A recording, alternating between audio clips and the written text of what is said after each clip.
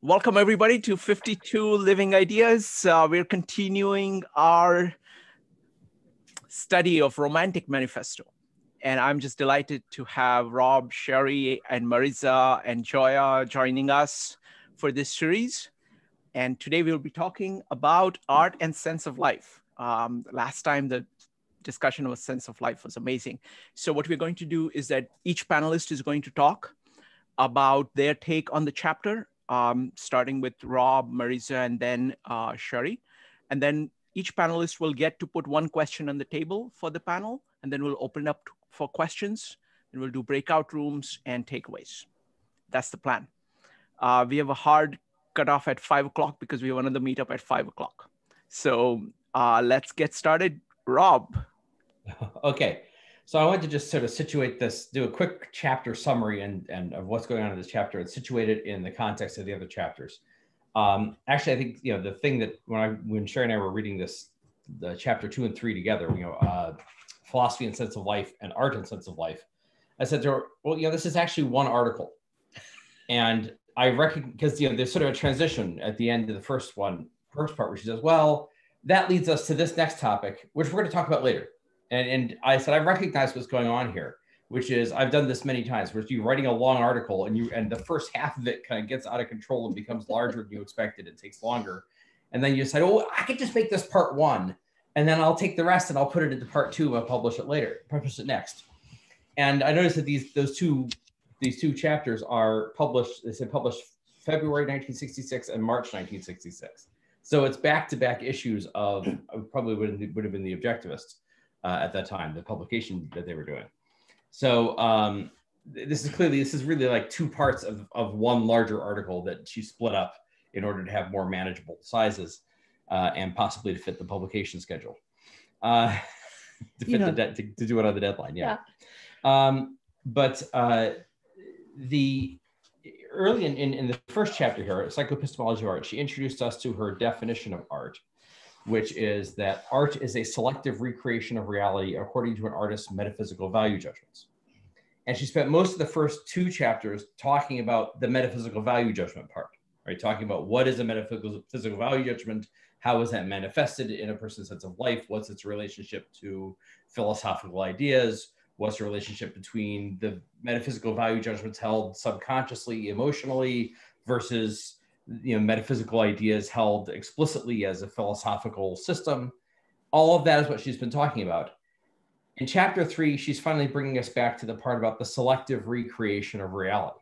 And that's what chapter three is really focusing on is that issue of selective recreation the selectivity and how it is that what an artist selects what he chooses to include and what not to include uh, uh, conveys his view of the universe and uh, um, you know, it's interesting because if you know this in the history of philosophy or in the history of uh, philosophy, uh, theories of aesthetics, uh, the idea of art as imitating reality is, you know, of course, an old, very old concept that goes back to the very first ideas about art because art is, you know, you paint a, a, a mountain, you paint uh, a beast. A, a, on a cave wall. Yeah, you, you paint a, a wildebeest. You paint hunters chasing a wildebeest. You're representing reality. So the idea of art as an imitation of reality is a very old idea. And, and the uh, if you talk to philosophers about this, they will use the term mimesis, which is basically the Greek word for imitation, for art imitating life.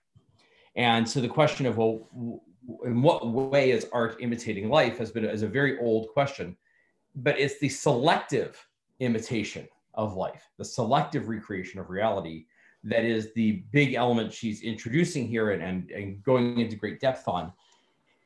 Because you know the she's coming in the heels of modernism and the modernist movement which was and which where where art turned and, and theories of art turned against representationalism against imitating reality. And part of this was in reaction to things like the the camera the photo, uh, to photography right? So art of the idea of art imitating life of presenting a representation of the world uh, uh, made a lot of sense made more sense you know before before photography because if you wanted to know what the king of france looked like right? you want to be able to represent to to convey to somebody, here's what the King of France looked like. There's only one way. You got to paint her down, and he sat down and he did a portrait Or sculpt. or a sculpture. Actually, that's a great Bernini of Mhm. Louis XIV. Yes. Crazy hair. Uh, I actually recommend this. Is uh, uh, Bernini's portrait of uh, portrait bust of of Louis XIV. And he's like, he's got this great flowing locks of hair, and he seems like he's, floating on a cloud of hair. And it sort of gets this idea of this this grandiose visionary kind of uh, the sense of Louis XIV as a grandiose visionary building castles in the air is kind of the sense you get from it.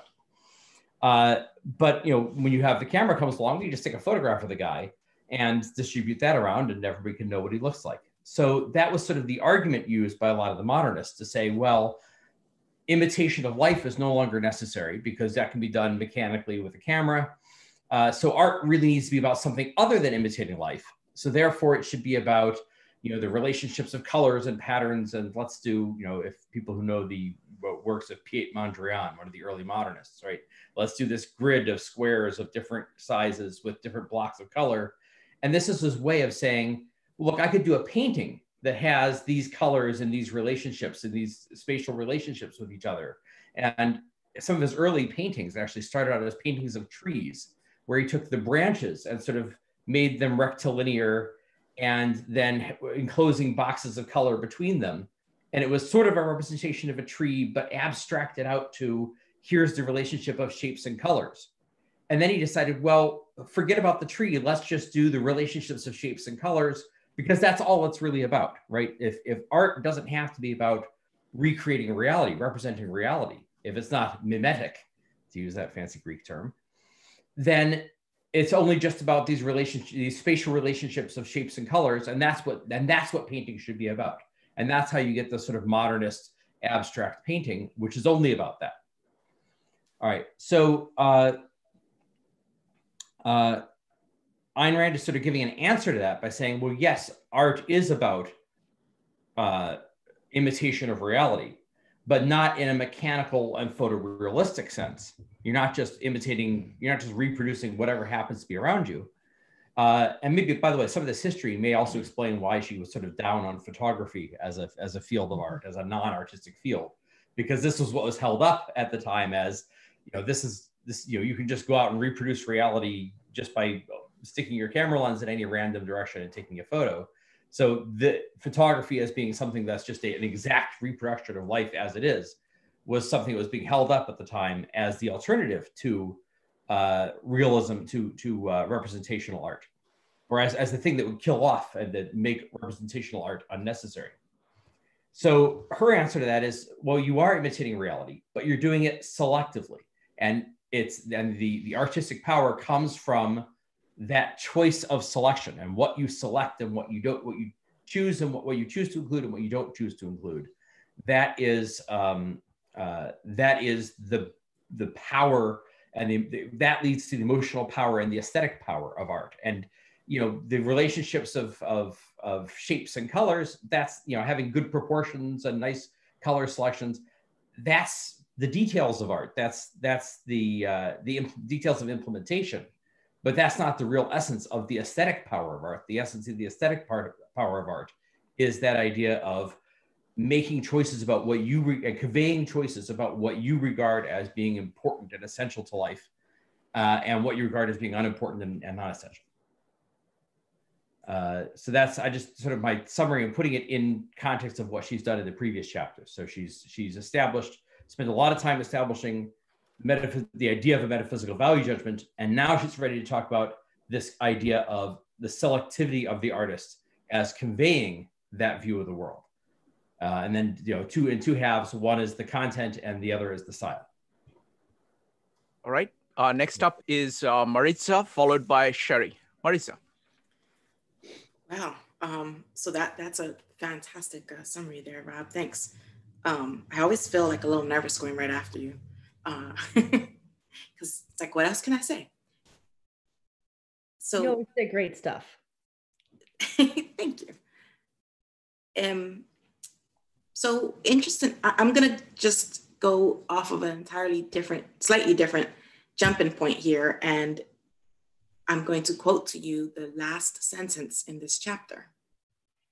An artist reveals his naked soul in his work.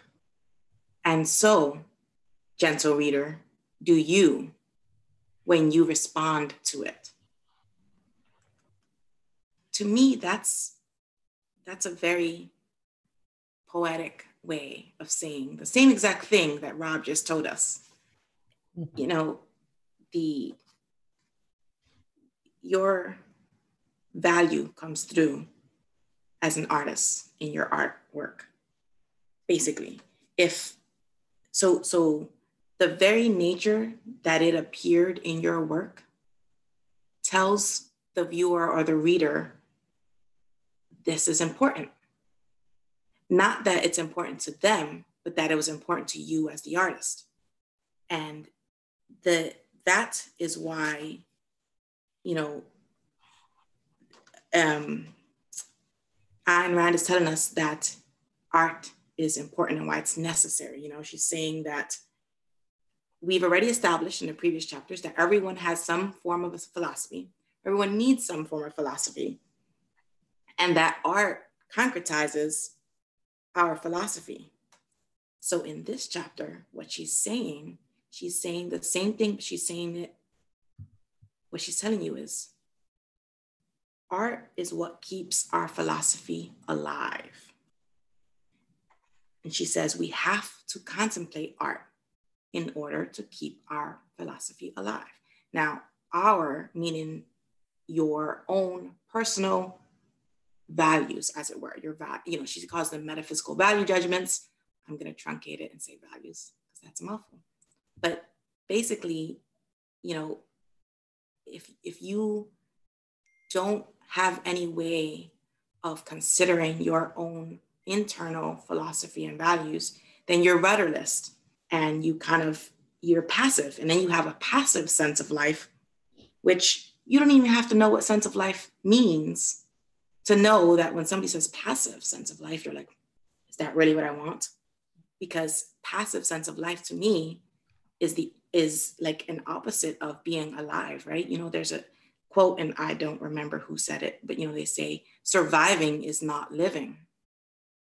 So if we view, you know, eh, so what Ayn Rand is telling us, there's nothing wrong with creating art that shows deformed or, or you know, something that's ugly or defeatist.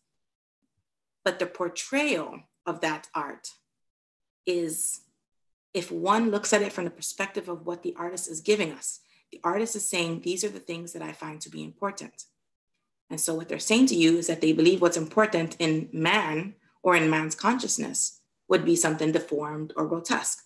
And she's arguing for the necessity of art that shows, because you know, she um her her her goal in art is always to present the her vision of an ideal man so that's why obviously the, the grotesque is not going to in, appeal to her. But what I like so much about this chapter is that she is very careful to make certain to explain that just because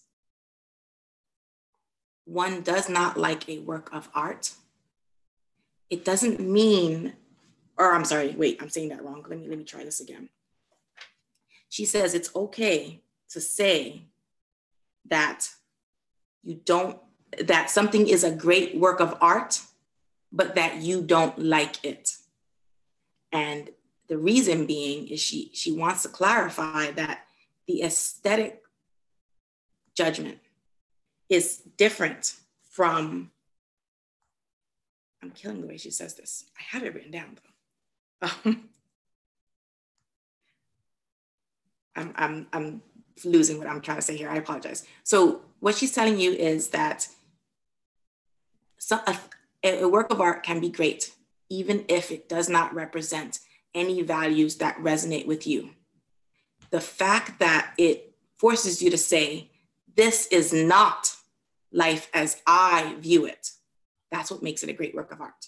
And, and she's, she has said that before, um, but in, in this chapter, I like that she's very careful to provide clear lines stating this. Like I, I feel, what, what I feel like is this, she, she was making some points with the previous two chapters. And in this chapter, I feel like she goes back to the previous two chapters to clarify on this almost subtle distinction. Like, don't get caught up on saying, but wait, but but she's talking about clear lines and and and this and that negates Rembrandt because you know he uses blurring and I don't think that's quite exactly the point. Um, I, I so as an example, I, I had mentioned, I, I told the, the group here, the panelists before you guys all showed up, that I was contemplating whether or not I would share with you a, a music. So for the most part, she, Ayn Rand talks mostly about literature. We've gone on quite a bit here about artwork. We haven't touched too much on music and uh, music has undergone so much change in the last, you know, many years. I'm gonna mention to you a, a song that is actually it's well, it's not just a song. This this artist is a German artist. He actually is singing in German, and so I, I started listening to German music when I was teaching myself German because that's the best way to pick up the language, right? And this artist, first of all, he doesn't.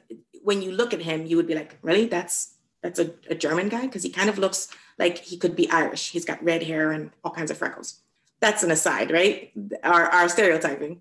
But he's singing, it's like a pop rap music. But then there is this amazing orchestra in it. And, and if, if somebody's curious enough or bored enough, this guy's name is Peter Fox. And the song I would direct you to would be Alles Neu. Everything is new, right? And he came on holiday to the United States and met a drum band from a college down south. And he liked them so much, he invited them to be in his album. Now, he made one album. He didn't enjoy the fame it brought him, so he refused to ever do a second album. And now he's still doing music, but he's doing it under other musicians in, in, a, in a chorus. But the to me, when I hear that, there is a mix of so many different components that it feels like it takes. So I often tell people I, that I have to figure out ways to engage one part of my brain so that the other part of my brain can do work or do something. But this song stops me in its tracks because I feel like it reaches into my brain and massages all those separate little components. And I feel like that's what Ayn Rand is saying that all artwork has the capacity to do. Because what it might do is it might feel like it's slicing all those little components. So it might not be good, but that's okay because it's making you feel. And and she's saying, you know, she she does clarify that when she talks about emotion, she means sensing or feeling. And and, and that's so I'm gonna stop there. Thanks. How do you spell Fox? Is it F A U L K S? No, Fox. F O X. F O X. Okay. Yeah. I was going for the more German option. Yeah. it's not at all. It's it's a and the video also is crazy. He he puts the all the orchestra and monkey um masks. No idea why, but I guess I'll look forward to it. This is great. You got to learn your music ahead of time because you can't see the notes but with the mask on. It's it's fantastic. I, I'm he's one of my favorites. Okay. Well, I think Thanks, this, Sherri, go ahead. This is a nice tie-in. We kind of, without having planned this out, we're kind of making a nice spiral here. Um, because I'm tying into uh, that that same line of um, this is uh, this was a shock again the, this time that I read through the book. It's a philosophy of aesthetics of literature not all the other arts necessary. Oh, so Rob's a philosophy of literature. So I keep pointing this out to her. He keeps putting that in front of my face. Uh, because um, this chapter, and I'm I'm gonna should I just I'm gonna say it. Yeah. It's shocking. I hate this chapter. I hate it like somebody has made the most perfect chocolate souffle. It's fresh out of the oven, you can smell it, and then they don't let you eat it. Because what she does is she has this beautiful long description of literature and what she likes and exactly why. Um, it, and she does it twice. She does it at a personal level and then at a more philosophical at thinking level, thinking, going through the artworks that way. Um, but this is something that is throughout this chapter. On all the other arts, she is almost using shorthand, which I think sometimes leads people to assume that shorthand is the way to understand all the other arts. Music and architecture are separate issues, and we'll probably talk to them about Next those as we're going into the other chapters. But with all the other arts, she's almost using a shorthand. So, like Maritza was talking about, um, she makes a comment in here about clean lines versus fog uh, or blurry lines. Um, and I think she's setting up a, a, false alternative there that it's you can have one or you can't have the other or this one's good and that one's bad.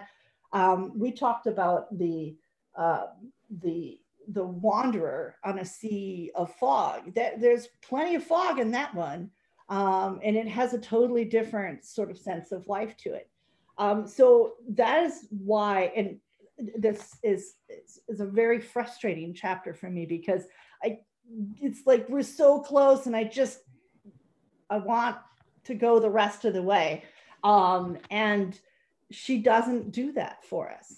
Um, she actually even goes into this one parenthetical paragraph the aesthetic principles which apply to all art, regardless of an individual's artistic philosophy, and which must guide an objective evaluation, are outside the scope of this discussion. I will mention only that such principles are defined by the science of aesthetics, a task of which modern philosophy has failed dismally. And I actually write in the margins of every copy of the book I've ever owned, this whole paragraph is circled and I write, ugh. so because that's her saying she's not because she's not going there. And that's exactly where I want her to go. So I have um, taken the uh, time to go ahead and do that.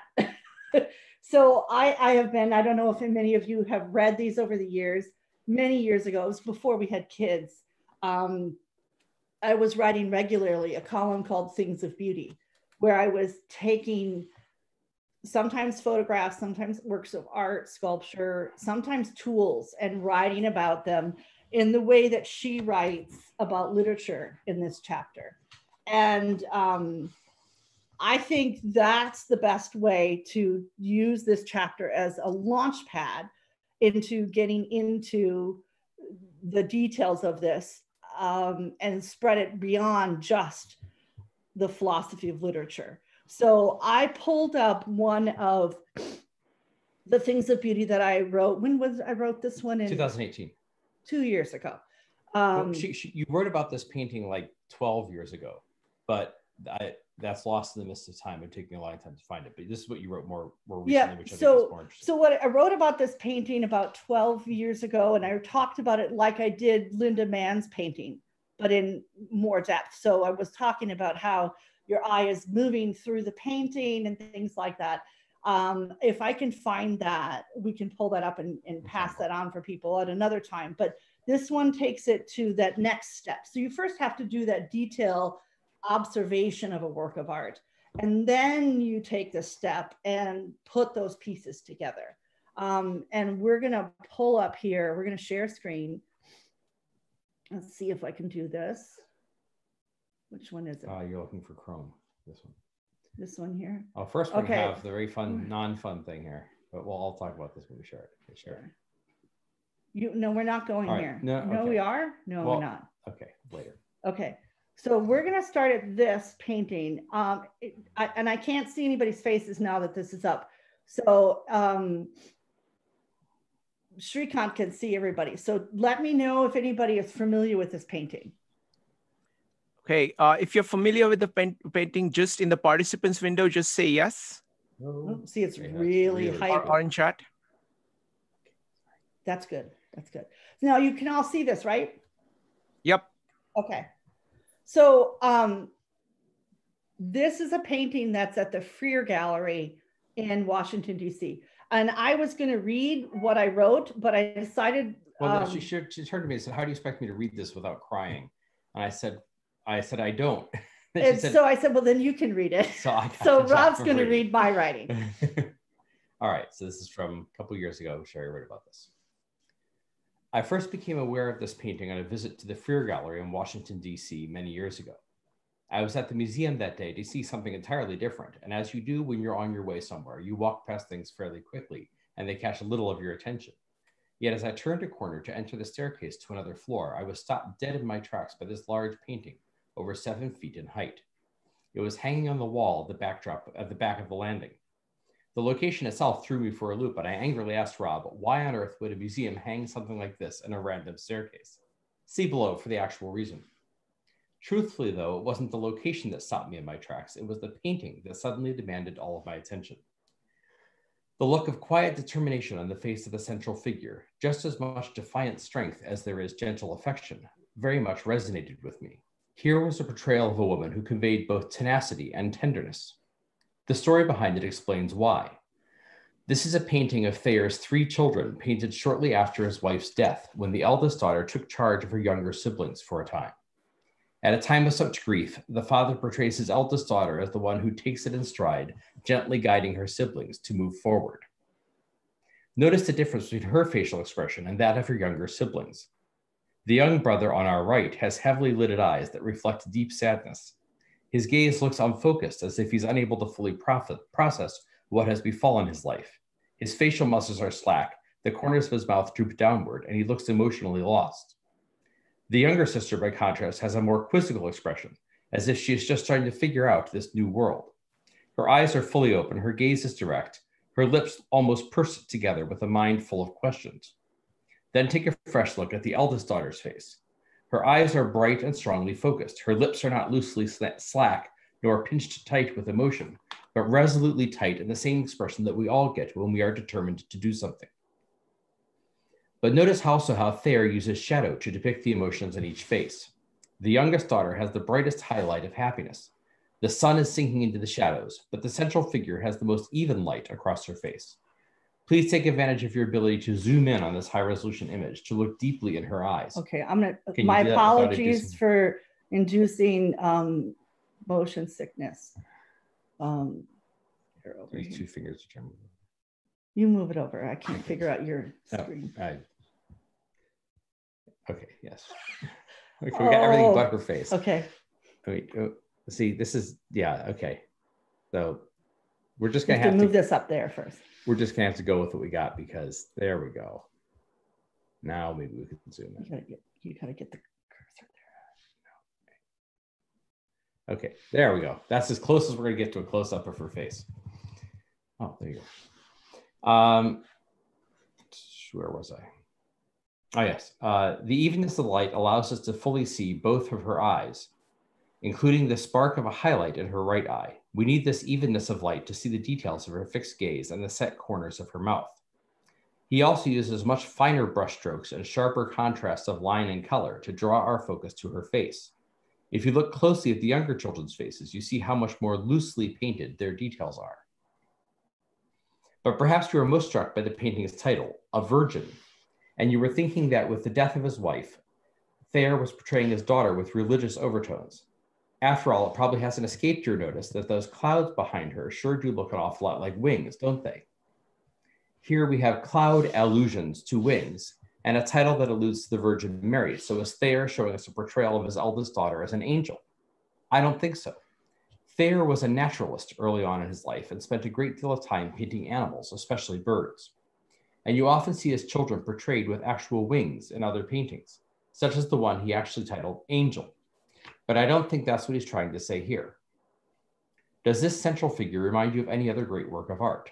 The forward striding figure with wings outstretched behind her, Is this the winged victory, perchance? Now, can you go Mhm. to um, the zoom tool? Okay, it's the source. With the image of the winged victory in your mind, notice the flowing drapery of her dress and how the drapery billows out behind her on the breeze. Should I go back to this one? Yeah. you can. Notice how the fine fabric is blown against her leg as she steps forward, and how the wind puddles the fabric into coils around the low, her lower leg. By now, it probably takes conscious effort not to see these clouds as anything but victory's powerful wings. Charles Freer, who bought this painting from Thayer, certainly thought so. When he exhibited it, exhibited it in 1910, he had it placed alongside a plaster cast of the Winged Victory.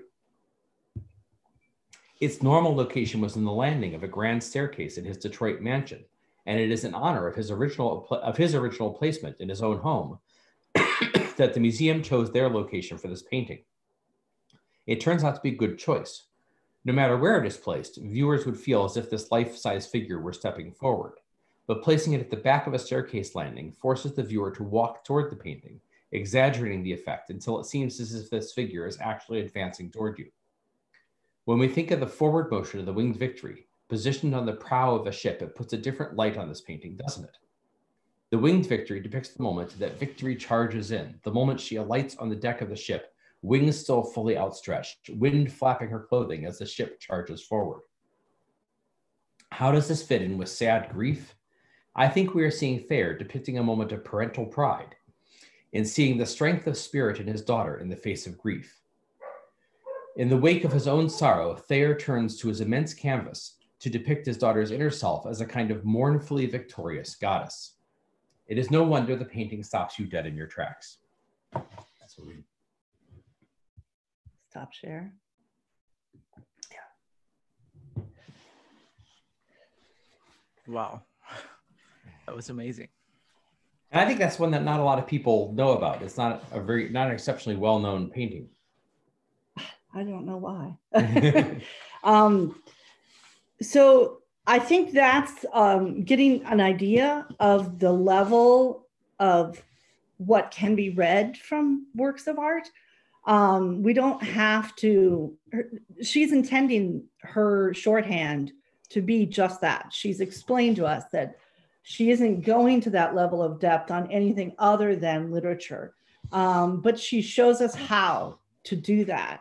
Um, and doing so is a really wonderful thing. Wow. Uh, thank you. Thank you very much, uh, Sherri. That, that was just incredible. Thanks. Thank you. Um, so um, I want to I want to go in.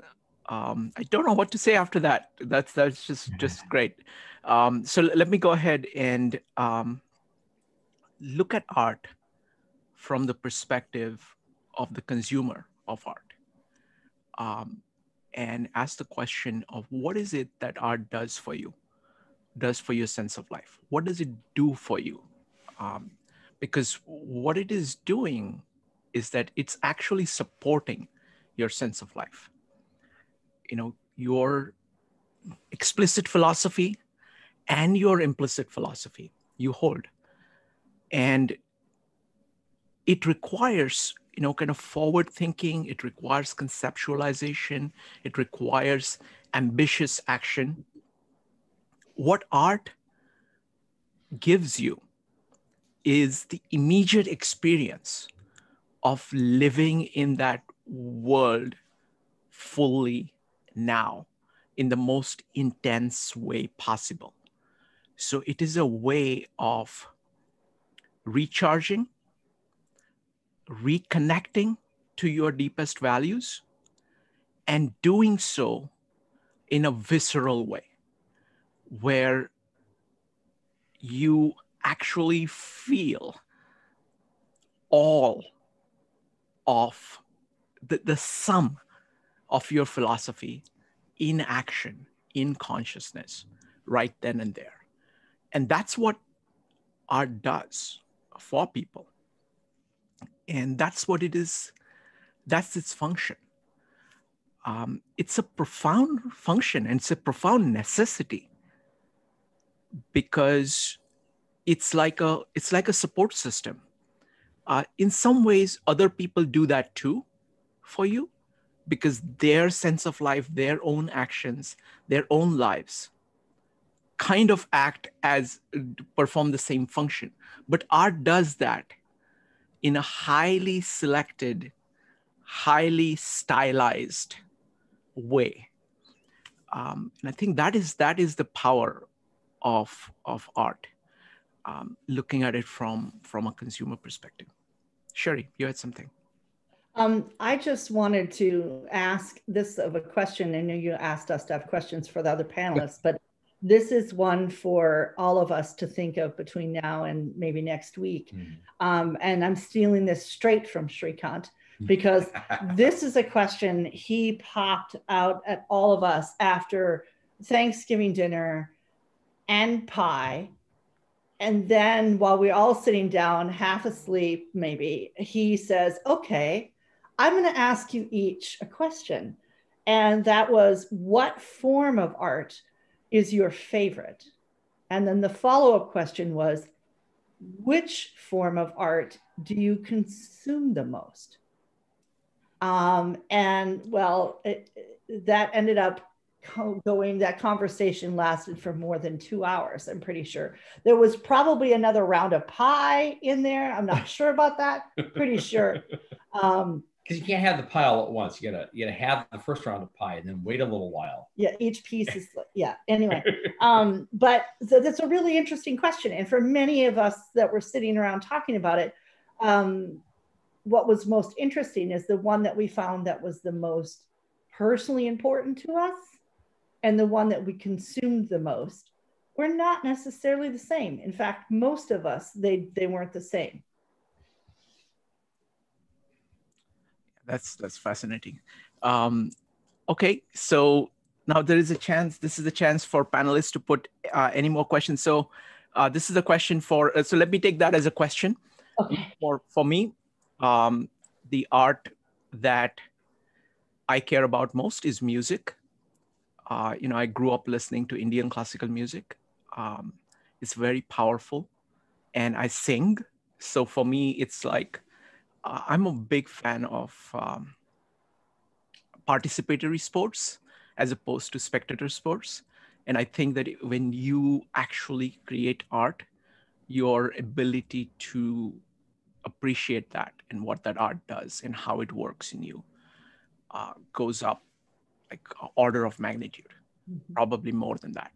So for me, music is is the primary primary thing, and I that is the one I consume most because in New York I can just walk around and sing, and uh, everybody thinks everybody is crazy here anyway, so it's it's it's okay, you can do that, and um, and you can listen to music and you can sing. So, uh, and I, I like walking, so it integrates perfectly with with my with, with my life.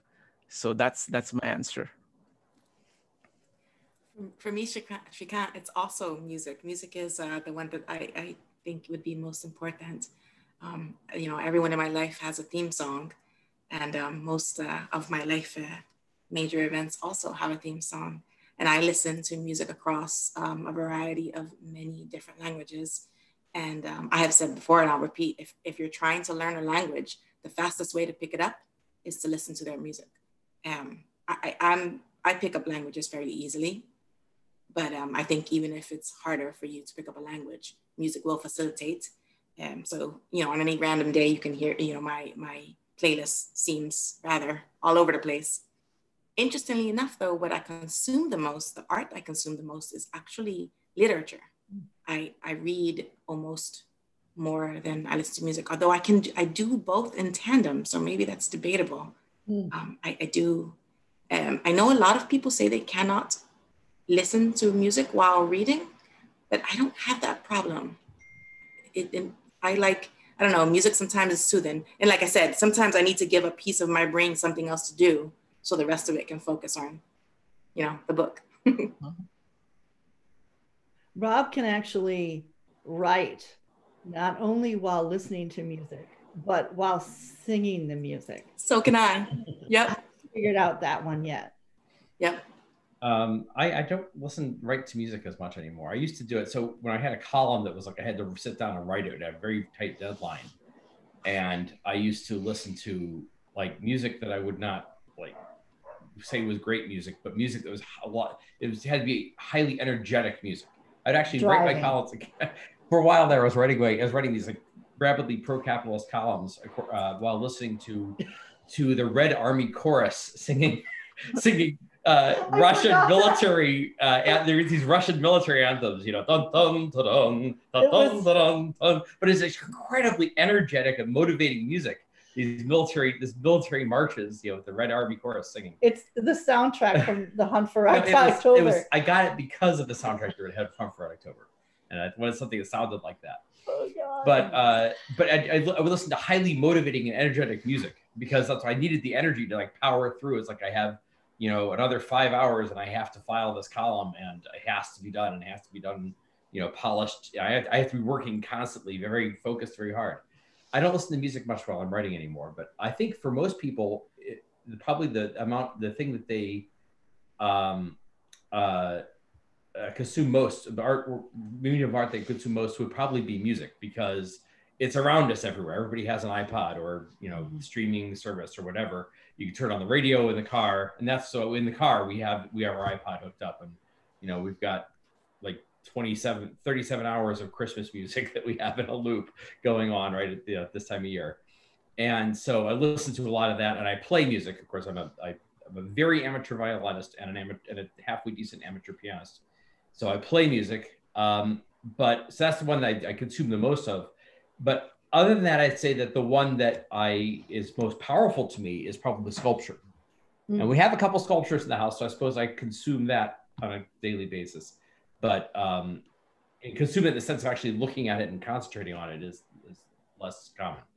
But I thought I, we were talking about this last night, and I thought it was interesting that the the two mediums that I name as the my most my favorite and my most widely consumed are the ones that are actually the farthest away from what I do for a living Mm. right? Because I'm a writer. I work with words.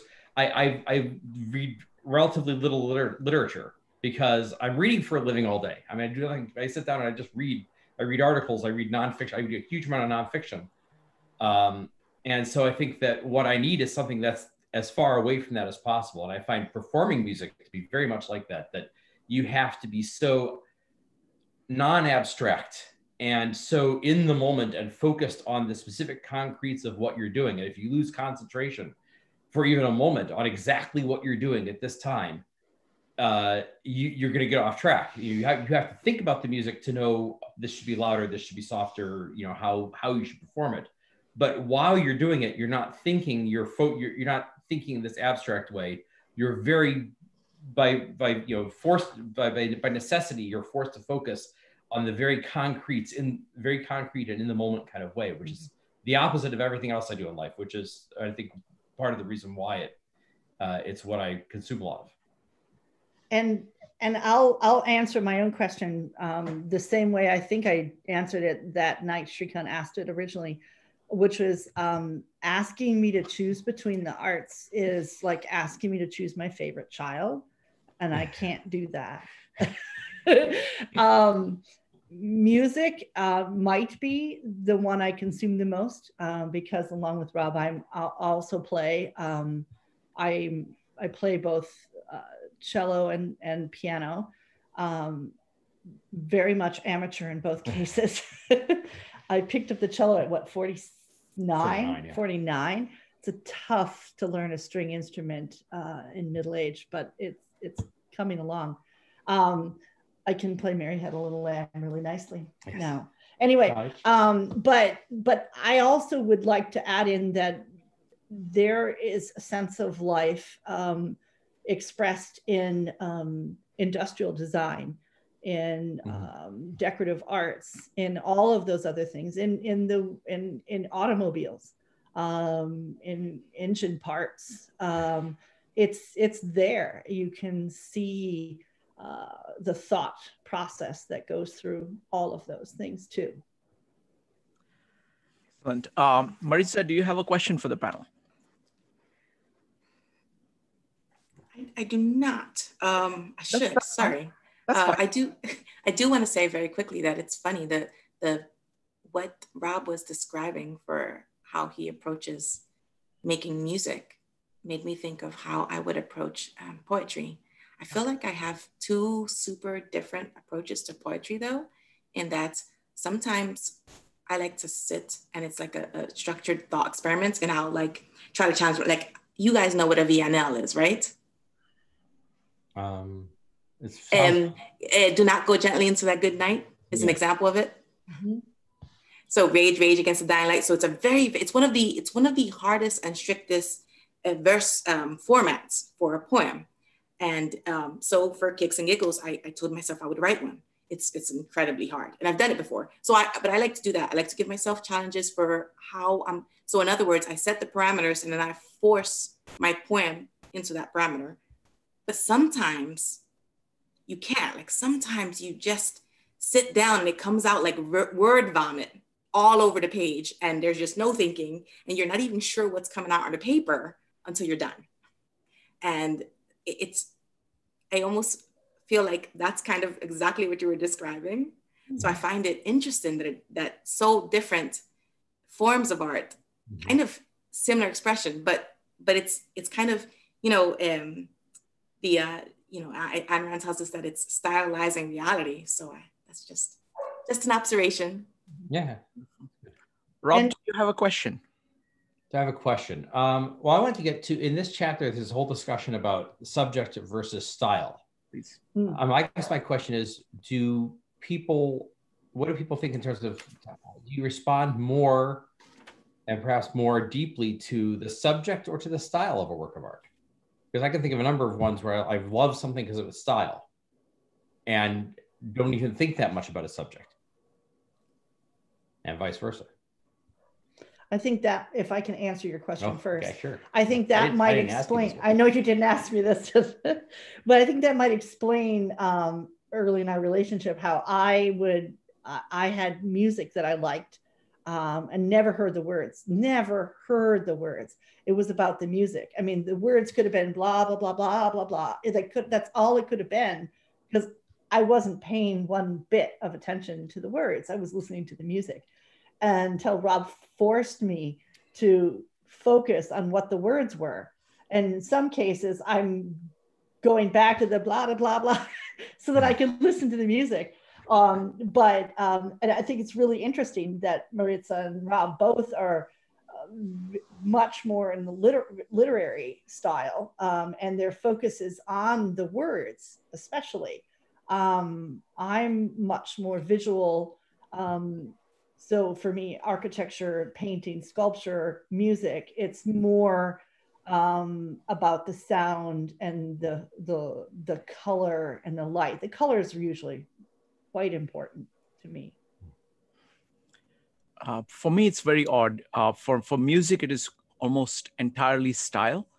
Uh, it is the artist like for example in indian classical music well i'll give you an example of western like ella fitzgerald you know ella the way she sings you know she can sing anything okay? She can sing anything and it's just amazing because just just her style of doing anything that she does in music is so incredible. The the level of kind of virtuosity creativity variety improvisation ability um, trying to kind of do this entire sequence of patterns and just exploring it it's just incredible um, but in literature, for me, subject is critical. I mean, I would wouldn't read anything unless the subject is good. Um, so I think it's different for me. Uh, Maritza? Um, I think it oscillates, to be honest. Um, for I, I would agree. For music, style is what comes up first, but it depends because I can't. I, I'm not a huge fan of music that has like four words, um, and they repeat.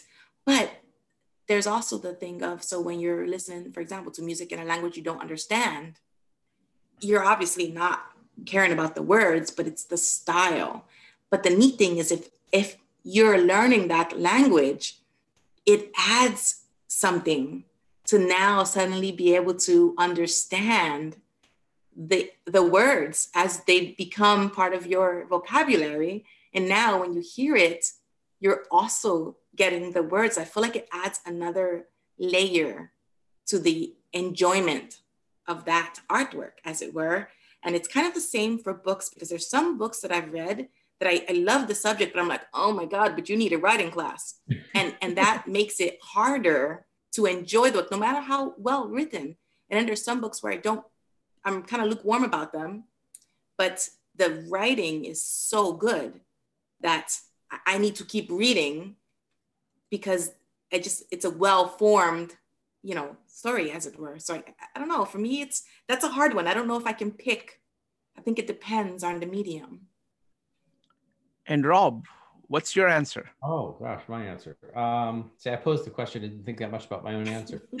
uh, I think no, I, I, do have one one thing I would say is I think specifically with the visual arts, uh, with uh, um, with sculpture and painting, I really respond a lot to style, almost so much that it, to this like Vermeer, she has some sort of harsh words about the naturalistic the naturalistic subject matter of Vermeer, and I'm like, I never noticed.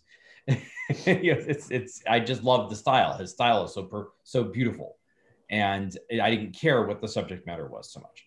Uh, and so I think that's definitely true with the visual arts that that sense of clarity.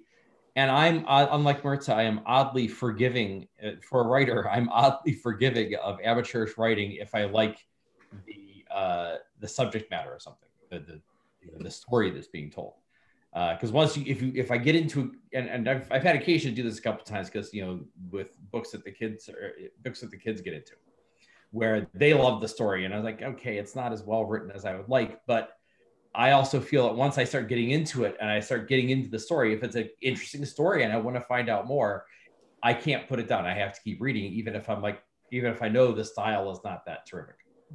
So interestingly, Rob, a quick question for you. Um, do you have any books from your youth um, either teenage or preteen that in your mind you still like it, but you cannot for the life of you pinpoint why? Oh. um, gosh, I, no, I, I think it, that's an interesting question. Um, I think it's, I, it's not so much that I can't pinpoint why, but I have some that I, I don't like as much now as I used to when I was younger. But I think in most cases I can kind of figure out why. I have uh, um there's there's a book called My My Darling My Hamburger and it's like some kind of tweeny novel that I read when I was a kid and I remember that I I felt like I I loved it in that moment because it ended sadly. And I was like this is more true to life. And wow. I remember saying that.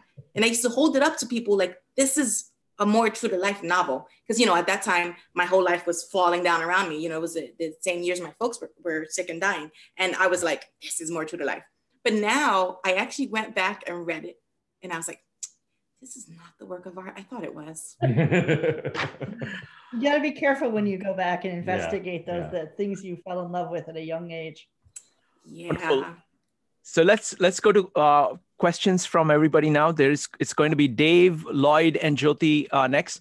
Folks, if you have questions, just go ahead and type an exclamation mark in Zoom uh, or raise your hand in Zoom. Uh, number two, keep on topic. At this point, we're just taking only questions.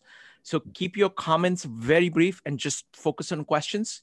Uh, after which we're going to do breakout rooms and then we get to come back and then you can give your full takeaways uh, and we're going to have, you'll have time to discuss them. So at this point, keep your questions brief. So it's going to be Dave, uh, Lloyd, Jyoti, and Ash. Dave, go ahead. Shrikant and panel, I, I really appreciate this examination of art and how to look at art. And to keep it brief, what fascinated me and the three daughters was the arm mm-hmm. and the fact it was a broad stroke without detail. It seems to me if, if the artist wanted you to look at the arm they would have put in detail for you to focus on. The fact it was like a reflection of the sun, it was just bright and it was just to emphasize the three together and also pointing in her head as the uh, thing we talked about last week. But anyway, great interpretation. Really appreciated uh, seeing that today. I guess there's a little bit of elbow there, but other than to me, it's yeah. just almost yeah. a broad stroke. Yeah, this um, that gets into that's something I mentioned in that things of beauty column, but Um, when you, we can point it out because it comes as what you're mentioning here. Um, notice in both cases, her arms are um, everything but her face is quite soft and muted. And this is gets back to remember we were talking about Linda Mann's painting.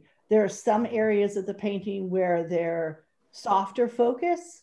There's something interesting there. Your eye can dwell, but your she, the point is to bring you back, to keep bringing you back to the point of focus, and that's her face in the center. And you'll notice that the shape, you know, this triangular shape of figures, that will carry your eye back. You know, it's up. And this was in the other piece. If we can find that, would be great. Yeah. Um, where the the shapes of the drapery and and the posture and the arms, everything tends to bring you right back to that spot in the painting where the detail is crispest. That is bringing your attention right there on her face in the center. Thank you. Uh, go ahead. Okay, uh, next up is uh, Lloyd, uh, Jyoti, Ash, and Jonathan. Lloyd, go ahead. Okay, thanks. Um, yeah, I, I read this uh, pretty carefully, this chapter, and um, I uh, I didn't understand. Also, you mentioned Vermeer, and he was a, a genre painter, just painting scenes of common life, you know, in in Holland. And I, I didn't understand what her objection was. She says. Um, he's got a bleak metaphysics of naturalism. I wasn't sure what she meant by that. Um, I think she means by that that these are not um, heroic people doing heroic things. They're or unusual people doing unusual things. Yeah, yeah. Um, and so she, you know, a lot of Vermeer's paintings are portraits of in one case the maid uh, you know the girl the pearl earring i think was the maid um, or his wife and just in and around the kitchen so she has some kind of comments like next to the kitchen maybe Ayn Rand didn't know how to cook that could have been it but but the thing that's but again that's where you're getting into the shorthand she's not explaining all that like she does with her literature yeah. comments I, I called it very telegraphic style that she has here. yeah yeah telegraph shorthand but when you think about it, um, again, you always have to take the whole context. So Vermeer was painting in a northern climate uh, where the light is precious. Um, it doesn't last all year. And it, when you start looking at, you can all go Google uh, Vermeer's painting and start looking through all of his paintings. What you'll see as a consistency among them is this beautiful light I mean, he's almost like the light itself is the subject of his paintings. It's not necessarily the girl in the pearl earring, it's the way the light reflects off of those things. That's kind of his precious thing. And that seems really wonderful to me. Uh, next up is going to be Jyoti, Ash, and Jonathan. Jyoti, go ahead. Yeah, I have a, I don't know what kind of question it is. Um, anyone can answer this one. The preference for art, can it change because of the state of mind you are in in different phases of your life? Am I making sense? Yes. you want to answer that one? Unless somebody else has something else. Um, I, I, I think that's probably true. Um, I mean, I, I, think I think it's definitely true. I'm trying to think of how to come up with examples or. I mean, I, go ahead. Okay, I'm just going to step over him. Take a look at Ayn Rand's work, mm. "We the Living," versus Atlas Shrugged. I mean, it's stark. It's a really stark difference, and I think that's yeah. It's it, because the sense of life. Um, it, it, it comes through whatever work of art you're creating. Um, it comes through as your personality just walking down the street you know what i mean it's definitely going to change um, in your mindset and in your mood and, and throughout different phases of your lifetime will change sherri can you give example of michelangelo's uh, yes. We've talked about that before yep. like mm-hmm. michelangelo's david uh, was in the, you know, was young prime of his life, confident, um, strong, and uh, powerful.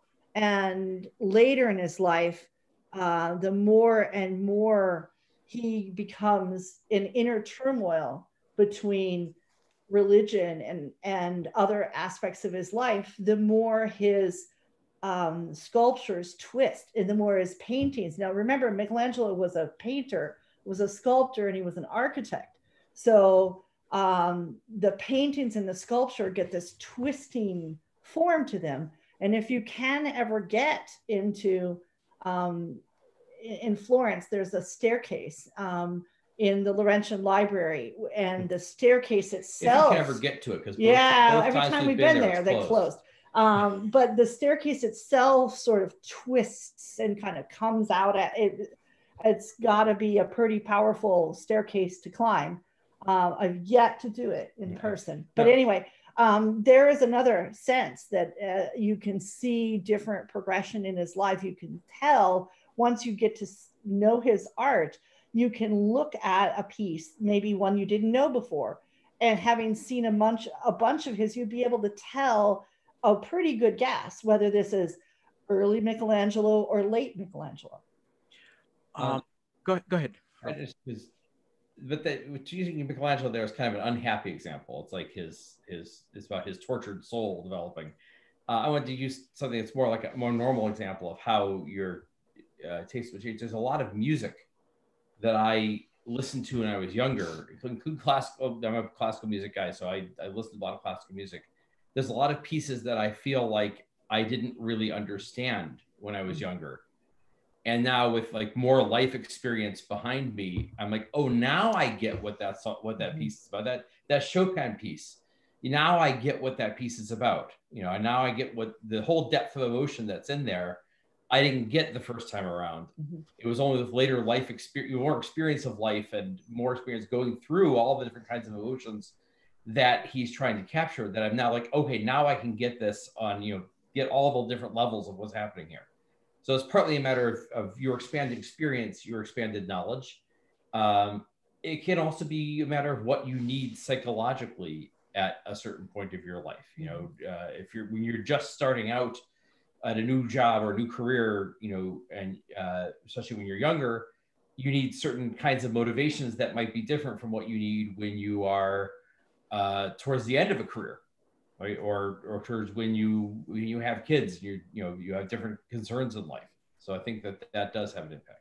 Yeah, absolutely. And uh, what I would say is that you know art supports your sense of life, and especially over a period of time, there are things about your sense of life, things that are valuable to you, things that are important to you, are going to change over that period of time. And you're going to gravitate towards art that supports that particular thing at that particular stage. So, uh, excellent question, Jyoti. Next up is Ash, followed by Jonathan. Ash? Hi. Um, yeah, so earlier Maritza was talking a little bit about this distinction that Ayn Rand makes in the, in the chapter between uh, one's personal response to a work of art uh, versus an objective aesthetic evaluation of the work. And, uh, and sort of later in the chapter, Ayn Rand does talk about aesthetic evaluation in terms of uh, the, you know, the technical mastery with which an artist conveys their theme and things like that. But she doesn't really kind of go too deeply into, you know, the explicitly or explicitly in this chapter about kind of the fundamental standards of aesthetic evaluation. Um, and earlier in the chapter, there was an interesting passage where she says the function of psychological, so first she talks about art as uh, performing this function of psych- psychological integration to concretize your broadest uh, metaphysical abstractions. And then she says the function of psychological integration is to make certain connections automatic so that they work as a unit and don't require a conscious process of thought every time they're evoked. Um, and so, and elsewhere in her, her, you know, like in her ethical writing, she talks about standards of evaluation um, are based on uh, the function uh, that uh, something is supposed to perform. So I'm wondering what you guys' take on, do, do you think integration um, or the level or degree of integration that a work of art achieves is sort of the, the basic standard of aesthetic evaluation or, or do you think there's something else Does that make sense? Mm-hmm. Um, I think that the more integrated um, the oh we lost a painting the more integrated a work of art is between its sense of life between its style and its subject and all those little details of how it's created if all the more integrated it is i think the more powerful they become and generally those are the works of art that stand the test of time of centuries versus ones that are a decade in in power.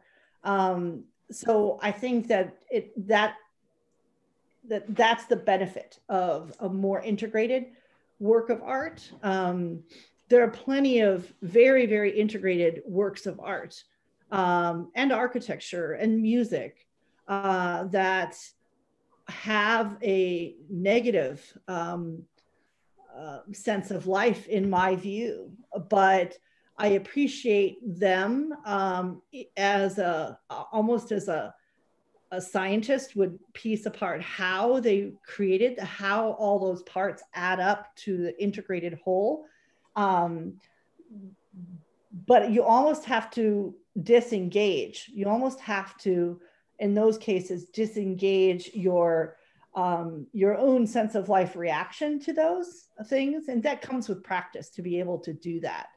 Um, to say, okay, yes, this is my reaction. I'll acknowledge it and I'll set it aside and then study. You know, it's, um, you know, like a doctor, you know, there's a level of separation in there. Um, so when I look at things that are very highly integrated, but um, repulsive to my sense of life. I have to do that. I have to have that separation. And Ayn Rand tells us that, um, you know, the artist is stylizing reality. So the goal is an increased integration. And, and as it's, as the viewer, the more that you perceive a work of art to be integrated with your sense of life, the less dissonance that you'll have with it. Mm-hmm. And I, and I so when she's saying, you know, but you you want to try to view it from an aesthetics separate from that like visceral reaction because like she says you know she she talks all the time about how you know victor hugo is one of her favorite um, literature um, artists but she opposes just about every philosophical type of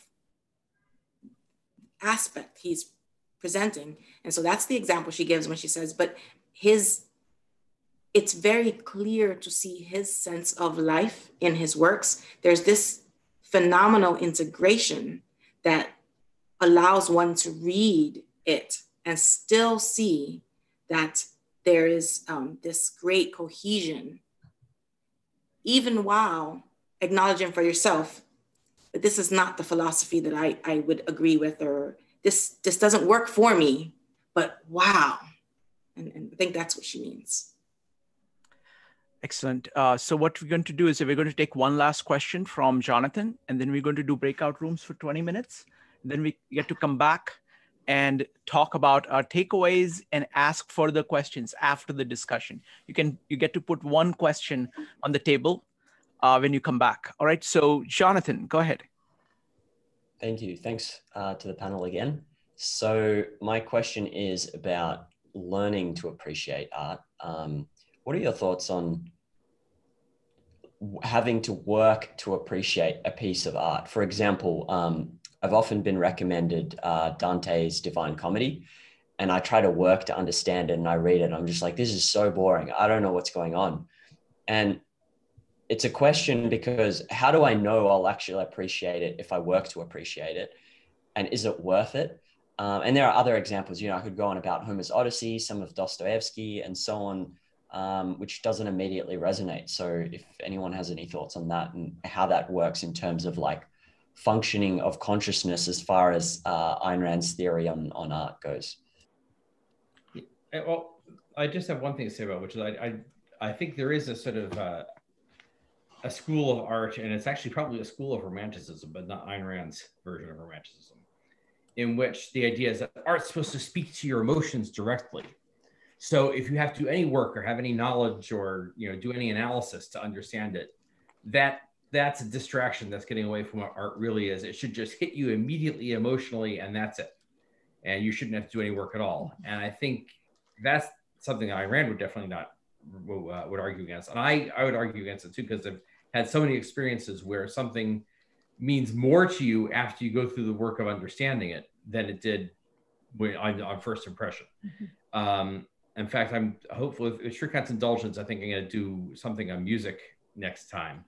And it's a short piece where I think it's the thing where when you actually go through and understand what's going on with it in the details of the of the music, you get so much more out of it the second time through after the explanation than you did before. Uh, and it's not that it's like you're bringing in the outside knowledge; it's that it's helping you understand what is there in the original work. Um, and for one a further example I throw in there is Homer, because I just had a discussion with somebody about this. We were having an argument over. So I'm, I'm a former sort of classicist. I, I almost a classicist. Uh, studied ancient Greek and read Homer in the original and that sort of thing, and um, had to just argue with someone about different um, translations of Homer. And I'm a big partisan of Richmond Lattimore's translation, uh, which was the the standard in the late 20th century and he somebody else was arguing in favor of Fagles, which is a, a very widely used and very widely recommended more recent translation in the last 20 years or so. Um, and uh, the thing about Fagles is the reputation Fagles has is it it's more novelistic, it's more up to date. It doesn't reproduce all the sort of style and uh, style of expression uh, and that the conventions of an ancient Greek epic poem, it's more like reading a novel. It's more, it makes it more immediate and more accessible to the modern reader. And that's the reason I don't like it because my, my point about it is that Homer's a little bit like Shakespeare, that having it, the fact that it's in a different style of expression, a style of expression that captures something about how the ancient Greeks told stories. So you're not just getting the story, you're also getting a sense for how did the ancient Greeks tell a story? How did they put their sentences together? How did they how did they how did they put all the details together? It brings you into a whole different way of thinking about something. So it's sort of like shakespearean english right? You can get you can take shakespeare's story and you can you know make it they, they do this once a year pretty much. They, they make a movie out of it you know with teenagers in high school but it's a shakespeare plot right? Um, but it's not the same thing as shakespeare in shakespearean english where the way he uses the language and the, the, the dialogue and then the poetry of it is part of the point and part of the experience of Shakespeare. So, it, so Shakespeare is a great example because it might take you effort. Uh, and I think the reason why a lot of people have difficulty with Shakespeare is it takes you effort to learn how to listen to this Shakespearean style of English, you know, which is an old fashioned, it's an out of date style of, of speaking English. So it takes a little work to understand this Shakespearean style of English and way of expressing yourself but once you do you expand it's like you expand your mind and you you you get into appreciating a whole different way of thinking about things and a whole different way of talking and having your mind work. And that's part of the a crucial part of the experience of the art. Mm-hmm. so that's my pitch for the the necessity of making of doing the work to understand things. Now the, the pitfall of that is something you mentioned which is sometimes the great classics that you've been told you ought to read are not really all that good. and so sometimes you take the you take the chance you're going to put in a lot of work to try to understand something, and it's not really going to be that rewarding. Um, but a lot of them are, so don't don't be discouraged. Thank you, sir. Um, so now um, now let's go ahead and um, so Maritza, Rob, and Sherri, you're welcome to comment on or answer any of the questions you want to pick up on. So who'd like to go first? Um, I, I want to uh, address um, two, two specific points here. Um, one is um, I just, I love what um, Rupali said about um, dance and about finding nature in everything and how do we do that, you know? So, you know, my, my nieces and nephews are mostly grown because my siblings all procreated often and very young but so I have had the, the, the fortune of being like the great aunt, right? But to all of my my nieces and my nephews, whenever we would hang out, I said, remember, whatever you do, whenever you find yourself standing directly under a tree, look up. Now, when you say this to a two year old, they look at you and wonder, like if they're gonna find this like amazing treat when they look up. But I say this to them when they're two. I say it to them when they're four. I say it to them when they're 16. I will say I have about 20 nieces and nephews. I had one, only one ever, question me what I meant. I think of that as being how one views art. They never asked me what I meant because they they internalized their own vision of what I meant. Mm. And basically, you know, I guess it's just a different way of saying stop and smell the roses. And honestly, a little bit selfish because I am super fascinated by trees. So then I look less strange if the kid is stopping to look up at a tree. Nobody questions why the 30 or 40 year old is doing the same. Um, but I, I, I really do agree with, um, you know, Rupali that we will live more well-rounded lives if we can find a way to see art in those things surrounding us. I don't find that that necessarily has to be a contradic- contradiction with Ayn Rand's perspective on art, because if she tells us that, you know, art is how we concretize our value judgments, who's to say that we can't do that while dancing or while cooking? You know, my my favorite memories of my mom are of her dancing while cooking. So, you know, it's just it's one of those things. And also, I have to say, Rupali, thank you, because I am a finance person. My day to day, I, I am, you know, analyzing just vast amounts of numbers. I have often had an inferiority complex a little bit when I get around these great minds that seem like so much more artistic than I am. But you brought up two or three aspects in your two minutes. And I'm like, wait, I do those things. Wait, maybe there's a little more art in me than I thought. And um, that's just lovely. So I, I thank you very much for that. Rob or Sherri? You yeah. okay. Um, one thing this keeps this is um, Ayn Rand's view of what is art and what isn't art is a question that's come up at uh, just about every one of our sessions so far. And um, I wanted to read the last line of this um, chapter again. An artist reveals his naked soul in his work. And so, gentle reader, do you when you respond to it. Um, we have to remember she was an artist before really she was a philosopher. Maybe she was both at the same time.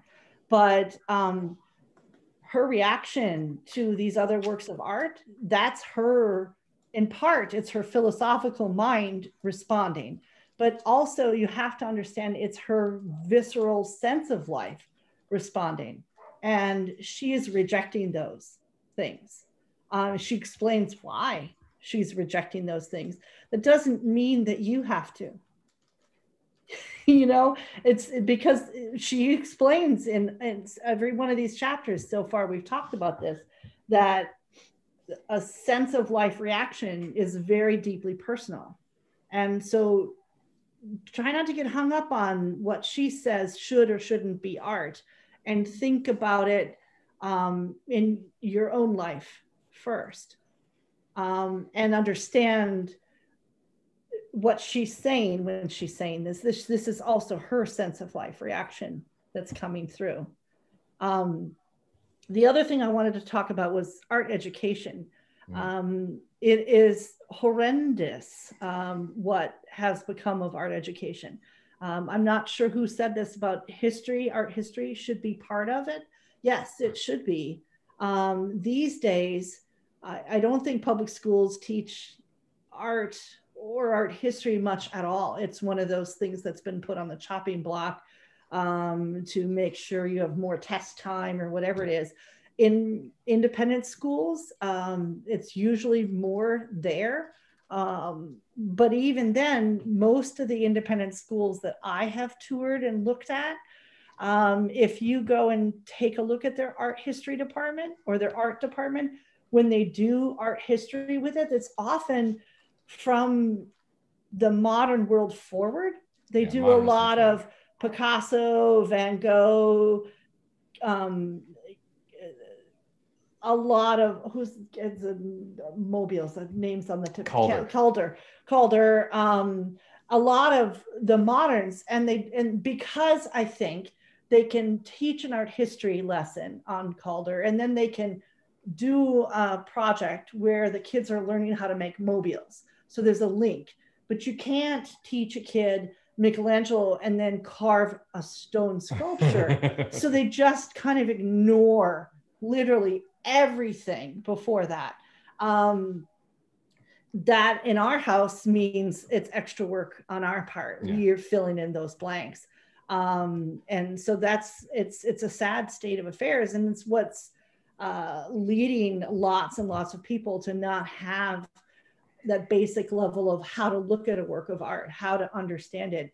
And part of that also comes from when you look at a work of art and make a judgment on it, you have often very many teachers who are who aren't going to be gentle about it and they're going to push their own view mm-hmm. on those children and tell them this is great you have to like this which is wrong um, and they're doing that because of their own selfish self-consciousness that they need to have other people agree with them um, so it's uh, it's hard to find an art educator who will allow children their full, free, independent judgment and still teach them uh, without their own heavy hand on it. Rob? Um, so one uh, thing that keeps coming up here, and I think actually Jonathan is the one who keeps asking questions uh, relating to this. I think, it, uh, but it's it's the thing. I think it's very totally appropriate. He's doing that because in a way, it's one of the most radical things in here is this idea of connection between art and cognition. Mm-hmm. That art is not just about feeling; it's also about thinking, and that the thinking connects to the feeling. And and how does that work? Uh, because that is, uh, I mentioned that that's so there's a whole sort of theory of art that basically says no, it's all just you know art correct connects directly to your emotions, and if you have to think about it, that's that that's wrong. That just gets in the way, and a major recurring theme of this in Ayn Rand's analysis and also in a lot of the stuff I'm pushing is that what you're thinking and what what your ideas are and and the the ideas and the, the the cognition you have to do to understand what's happening in a work of art that adds to the experience and that's a central part of the experience and that's one of the reasons why to jump on this issue of art education uh, one of my sort of crusades here is I, I think we're in a low, we live in a lowbrow culture right now. Uh, I've done a little research on this, and some interesting things like uh, when uh, in the 1950s, the Metropolitan Opera, uh, the, the New York Metropolitan Opera's uh, radio broadcast. They used to, you know, they, they still do radio broadcasts on the weekends, or at least they did before coronavirus. Uh, radio broadcasts on the weekends, that they broadcast an opera on the radio. These used to get audiences like 10 or 15 million people, enormous audiences. And of course, they don't get that now. We have a culture that has become, I think, for some, and there's been an attempt, I think, deliberately to make it this way, where you know no culture goes without art, but we have a culture that sort of goes without highbrow art. And so, most the average person coming up, their exposure to art is, you know, I, not that I'm against these, but I use them as an example, is is you know superhero, you know, Marvel superhero movies, and it, it's popular music on the radio and they're not getting that exposure to classical music or to opera or to Shakespeare.